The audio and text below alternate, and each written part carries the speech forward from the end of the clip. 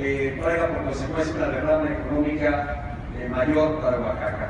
Pero entre los proyectos, además de este, pues está la conectividad que queremos que la Oaxaca para impulsar su desarrollo. Destaco lo que el gobierno viene impulsando, que estamos ya trabajando para lograr la debida conectividad entre Oaxaca y el istmo de Tehuantepec, una nueva autopista, y lo mismo con la de Oaxaca, con la costa, bajo los que son proyectos que van que se entregaron, pero que estamos desarrollando para asegurar su eh, oportuna concreción en muy poco tiempo.